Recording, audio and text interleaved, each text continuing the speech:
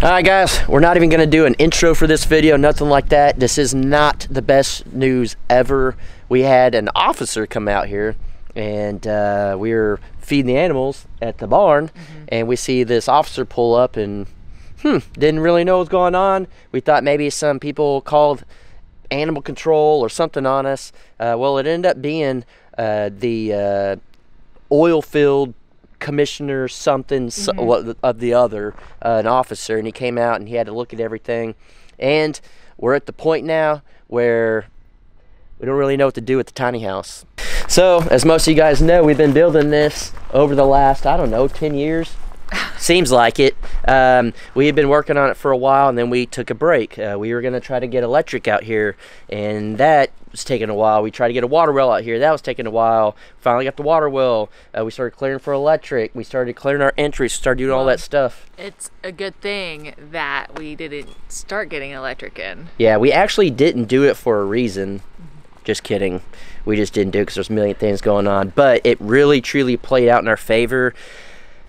we don't know at this point if we're going to sell or if we're going to figure something out. Uh, we're in talks right now with the electric company mm-hmm. to see. I guess let's circle back yeah, and tell you tell you what's going on. As you guys know, we bought property with oil fill stuff on it. We were told it was abandoned when we came out here. At the beginning, there was no road.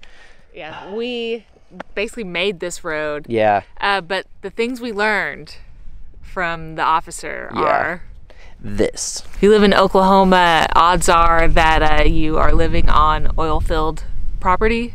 Uh, he showed us a map and it's everywhere. We thought, oh, we got one pump on here. Not a big deal. Nope, I think there was five or six wells mm-hmm. on our property at one point or another. And this road is part of that. So they have the easement that comes through and how far on each side do we get? It's 30 feet on each side that the oil field needs. And guess what? So 30 foot out from the middle of the road that way is where our electric's gonna go. So we'd already started clearing, but here's the thing. So the stake right here is where a, a power pole's gonna go, right here, which is five feet from our uh, driveway. So unfortunately, we can't even have power. And also down there, the pole is too close to the oil field electric pole.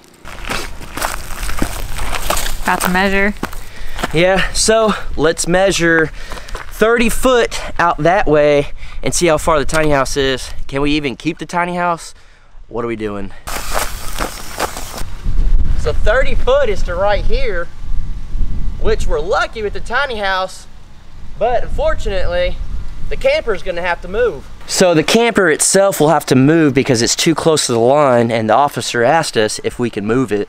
So that leaves us up in there right now. We can keep the house, but I don't even know if we can get power. So this oil field road, guess where it goes? Straight to our brand new pretty barn with our new fencing and new animals. That you worked on all by yourself and Yeah, and guess what? We it, worked so hard to get the animals too and We were told that if they want to come through, they can bulldoze right through it. So on the back side of the barn here, you guys know we started doing fencing this way and we got Outlaw to do the mulching all the way down the side over there. Well, that's gonna have to change. Power pole there, that might be a massive issue. All right, guys, you know Outlaw came out and cleared all this. It was exactly what we needed. He did an amazing job.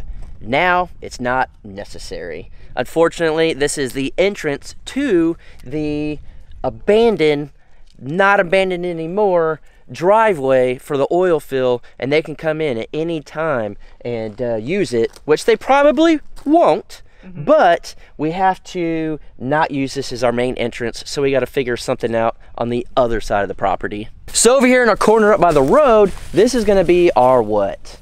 New entrance. Maybe. It really depends on how we can uh, do electric. If we could, uh, if we can get electric out here and ran underneath the pole over there, yeah. this could be it. We still we don't know what's going to happen, but if for some reason uh, electrics have an issue, we might move the entrance a little further down.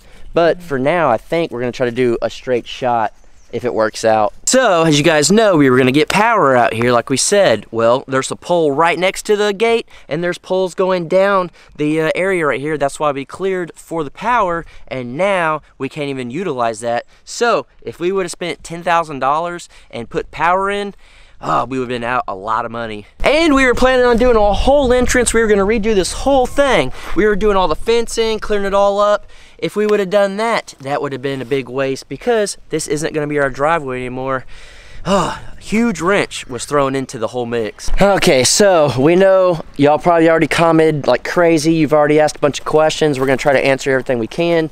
Uh, we thought it was abandoned. We were told it was abandoned. Mm-hmm. Uh, when we came out here, it looked abandoned. Yeah, again, the uh, the road wasn't even a road. We were we made it. Yeah, you could barely tell that Up it until once kind was. of around the corner, but yeah, us driving on it made it more. and then so we took the box blade of the tractor. We, we actually got it going. And the guy even said, I'm actually really surprised at how well these roads are taken care of. Well, we were using it as our driveway. And now we need to come up with a whole new uh, idea, a whole new thing. Uh, we're at the point where is it worth even staying? Is it worth trying to get power over here? We have to run well- power from the whole other side. We have to, yeah, we'll have to do the whole other side. So that means we'll need to get Outlaw back out here. Yes. She's amazing. Yes. he'll definitely get the job done. Yes. Uh, but the cost of that, and then the cost of gravel Yes. to do a whole new driveway. There is a creek over there,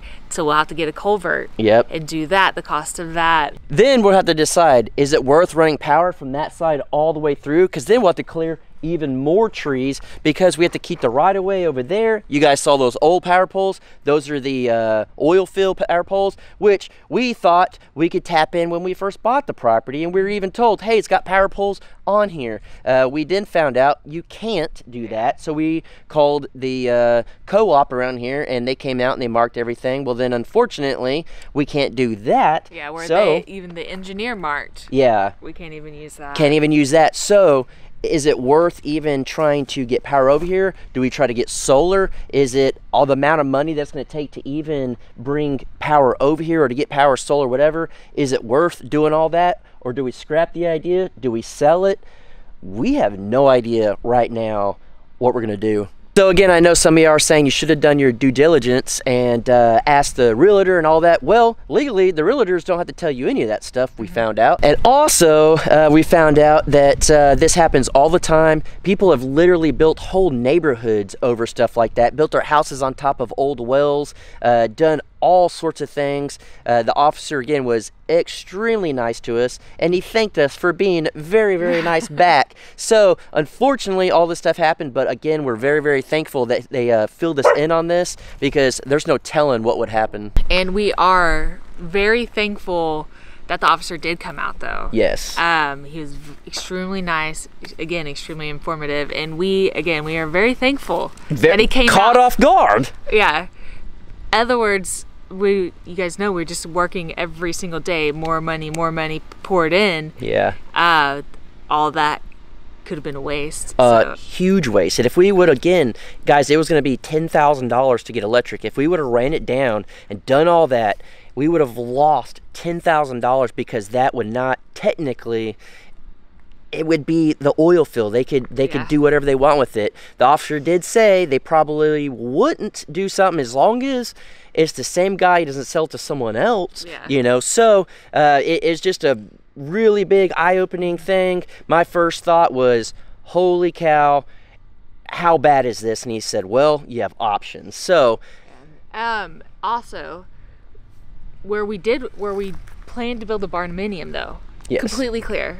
Uh, Yes. the big things are just right here. everything we've already worked on. Uh, So, yes. that, the work that's already been done yeah, up here, that's where the issue is. yeah. So, all the time, all the money, everything we put into this, we just don't know, again, what to do. Um, it's, is it cheaper to stay here and try to get all this stuff reorganized, replanned, all everything redone, or do we sell? Do we move on somewhere else that's maybe maybe established? Do we go somewhere else that you know doesn't have oil field stuff? Do we move somewhere that already has power and a well on it? I mean, it's just we have a million things going through our heads we kind of know what we want to do. We just don't know at this point. We're it's left in the air right now with the electric companies. The first thing we're getting with is can we get power all the way to the back where the barndominium will be, Can or they go underneath the oil field or over? or over either way can they do that because they're got to have to go around on that side or do we do solar how much would that cost Mm-hmm. if it just it, we spent a year an entire planning year out, planning out the lay of the land. everything. And uh, even our studio over there won't have power because the power would have to go and cut over to here. We can't cut straight over there. I mean it threw a huge wrench into all this. And uh, our minds are just going wild. We don't know what to do. We've been daily vlogging. We said you know what? Let's just go ahead and fill you guys in on it. Uh, we need y'all's input to help us out because this is a huge thing. Is this the end of the tiny house or just the beginning of an off-grid tiny house